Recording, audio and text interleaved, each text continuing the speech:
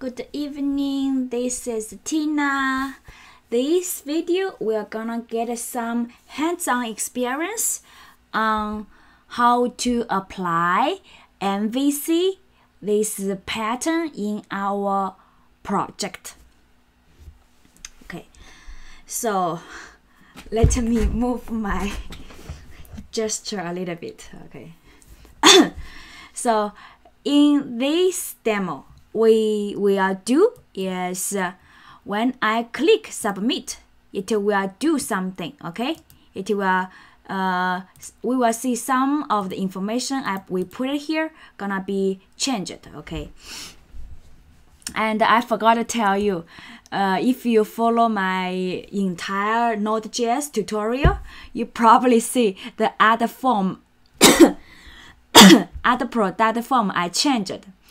I really couldn't stand that ugly form. So I go to the bootstrap and copy a form and made a change. Okay, just to have a better style, but the content is exactly the same. Okay, I don't go, I want to go through. So now let's start. Uh, when I go to add product, it's already displayed this page. So the next step is when I click the button, it should work, okay? Uh, but before that, let's take a look at our course first.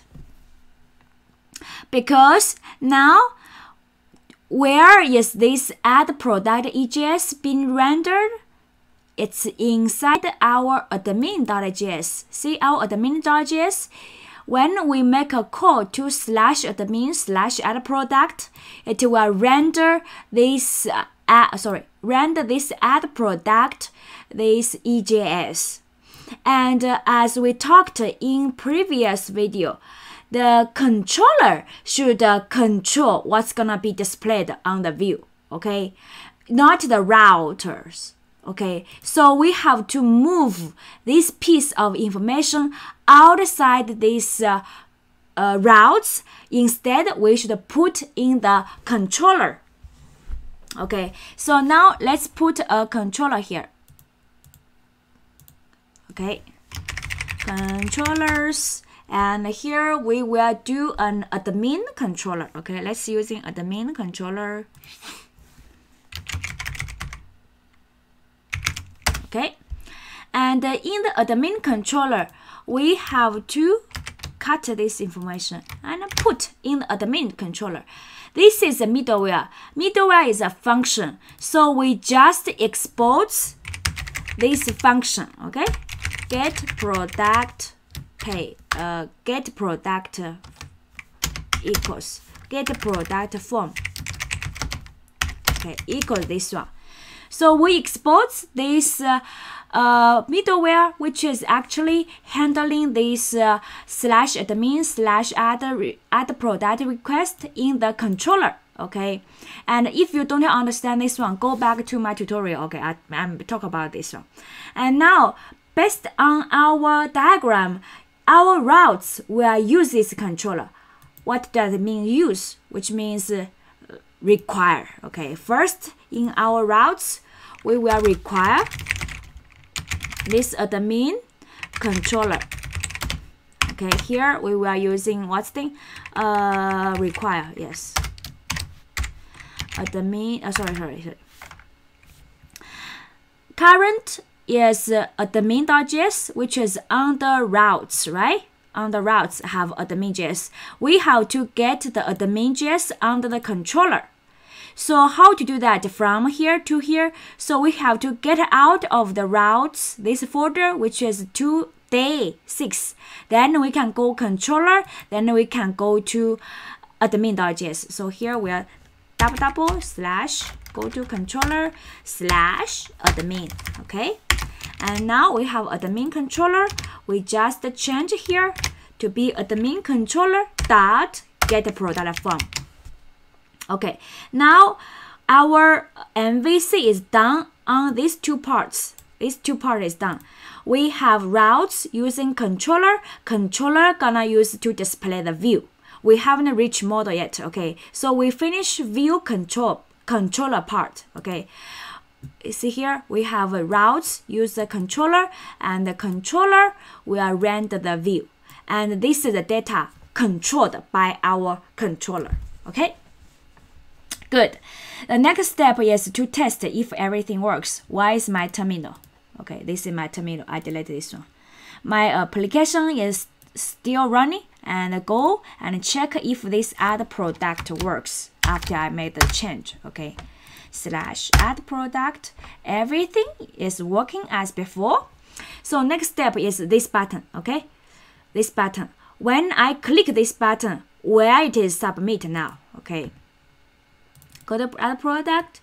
When I click submit button, it will submit to slash admin add product and the method is post, okay? For different requests, it can have a same URL okay and we can just differentiate those requests using the HTTP method. So for get, me get method, uh, get request, post request, put request, delete request, they can have same URL. Okay, so here our post request and our get request using same URL. So take a look at where is the routes handle this request. the Admin I have a post request, right? Handle for admin uh, add product. The admin part is here. The admin is uh, here. Admin is this part, okay. So it's admin post. And we have to do as before. This piece of information has to extract and put inside our controller. Post product. Oh I just I copied it right? I copied it just put it here. Then in our here we just using the main controller dot post product in our routes okay? Okay so here we just moved here and now let's see if I can get every information from request body okay? So go and uh, we can do a refresh and here we add a title. Title is node.js price. This tutorial is free. And the image URL image URL let me find an image URL how can I find the image URL okay uh, let's go and go to uh, image. I think the image we are looking for is 7 multiply what seven let, let's go to the home page okay. Seven multiply 400 let's uh, I should prepare before. Let's see if we have online image URL is this size. Okay image this one okay.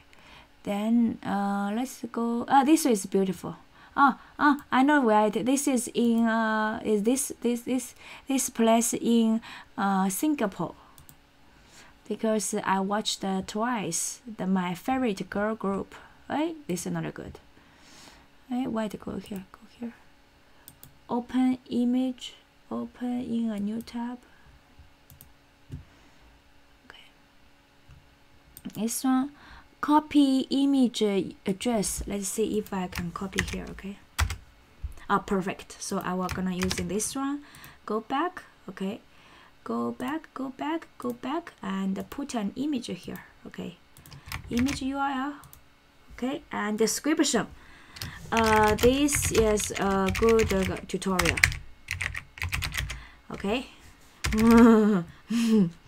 Then submit and watch the watch the changes here okay? Submit. Okay now we submit successfully, right? Which is as we expected. In the request body, we get all the informations here, okay, which is what I submitted. And uh, now we have to store all those information somewhere, right? We have to store first before we storing. We on we, we before we storing we have node.js zero this URL and this. Do we store like a piece of piece information?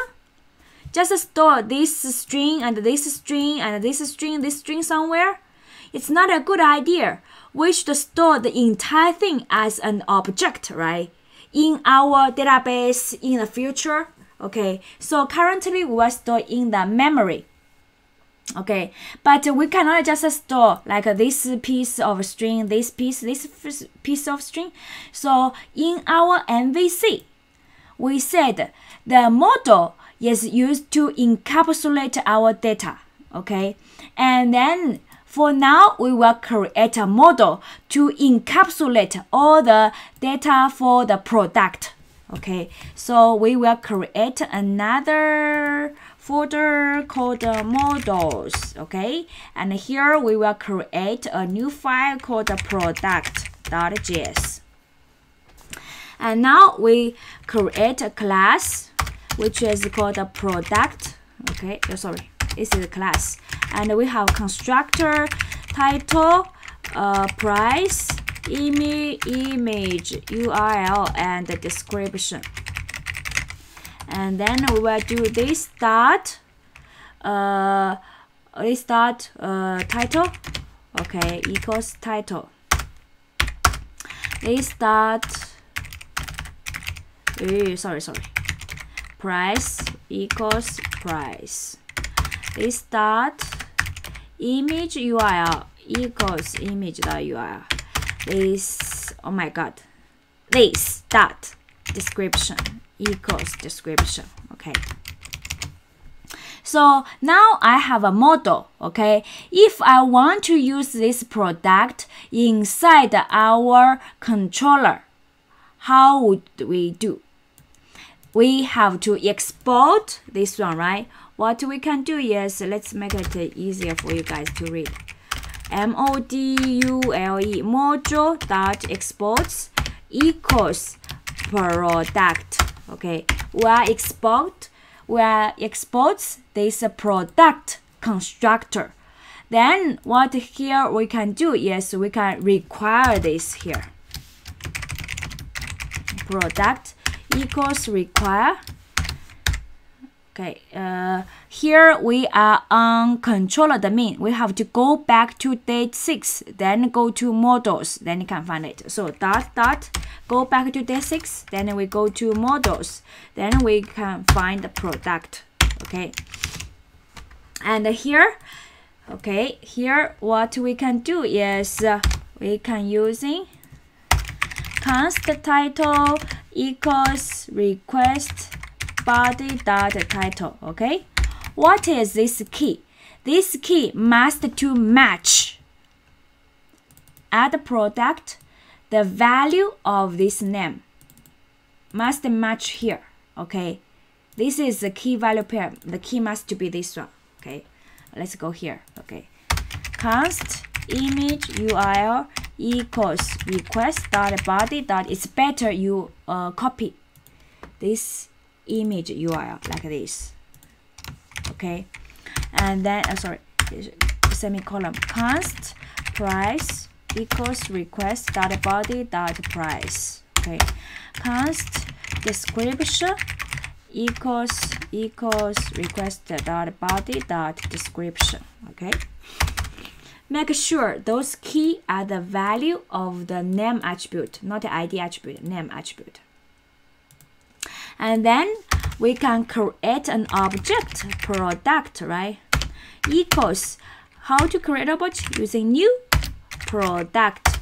This product is the one we require which is this class okay? It's gonna be title price price image url and description. So we follow this one to give title price image url description. So new title price okay image url and uh, description. Okay and now we have to save somewhere right? Where to save uh, later on we will talk about MongoDB to save into the database. But now we just save in the memory. So what I'm gonna do is uh, here I will create uh, you can also save into the file okay? You can have a file system to save that. We just save into the memory here. Uh, products okay? We have an empty array here at the beginning. So how to save? How can I save to here we can do is create a save method Okay, in the same method, uh, sorry, okay, okay, just uh, uh, just leave it like this. In the same method, we can reach these products. Okay, how can I add things in the products in an array? We can have method called push. This, okay, this will represent an instance of uh, uh, product. So how to use that one? What we can do is using prod dot save. Product is an instance of prod is an instance of product. So it's an instance of this product, so it can call this instance method save. And this this here is gonna be represent prod okay so it's gonna get all the values pushed there so next one is I want to do is I want to see if all the products is pushed successfully, right? We make another method here called get all. Or you can call find all. That's a common name, okay? And return products, which is return this object. What is this static here? Static here means to in order to call this find all method, I don't need to have an instance of product. I just using the class name dot find all to see. So now let's do it here. What I'm gonna do is console.log product dot get did I using get or find all? Uh, short memory find oh okay. Okay okay and uh, let's take a look at I will comment this one okay? And see what's gonna be in the array okay? Um, let's go to go to our browser and I will go to uh, admin add product okay oh add product Okay, this is our add product page, right? We give title Node.js, give price, very expensive, 1000, okay? Image UI, use the one we give, and description is very good, okay? And submit. Okay, good. And we see save successfully, which is we send here. And now here, save products uh, oh sorry, save product is log by this one, and it go inside the second log is an array. Did you see this bracket? Uh, bracket is array which is returned by find all. So now the product information I just entered is saved successfully in our array, right? In memory. So that's it for this step. Okay, for next step, we're gonna display every products in our page. Okay. So thank you for watching this video. Hope you understand. Oh, did I summarize? Oh, I didn't summarize. Let me summarize. Okay, sorry. Let me summarize. So here, where is MVC? Here we have a model, M, which have our model. Okay, the class which hold the object. And then we have our controller, okay? Here is our controller, the main controller. Control what kind of information related to the view. Okay, and what is a view? Did you see here render add product?